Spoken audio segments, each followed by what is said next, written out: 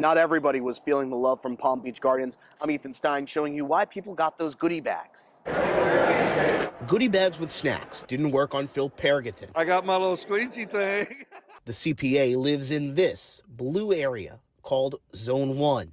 He is against Palm Beach Gardens' plan to add it in four other zones into the city. Or everybody's looking to get in and get something out of us, and I just don't think there's anything there that I'm going to need. The city says annexation allows it to lower their tax rate and better plan for future services. Tonight, Palm Beach Gardens tried to convince people it's better off with handouts at an information fair. Doris Souza had trouble understanding the changes because she can't move around easily. You have to seek it out yourself. I'm not able to do that. I'm 93. Most people at the meeting were against the change, but Peter Banting, living in Zone 5, is for the change. It just makes total sense.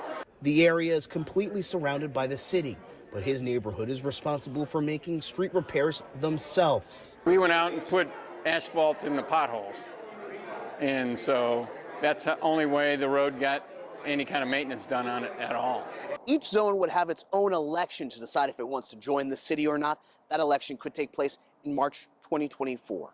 In Palm Beach Gardens, Ethan Stein, WPTV News Channel 5.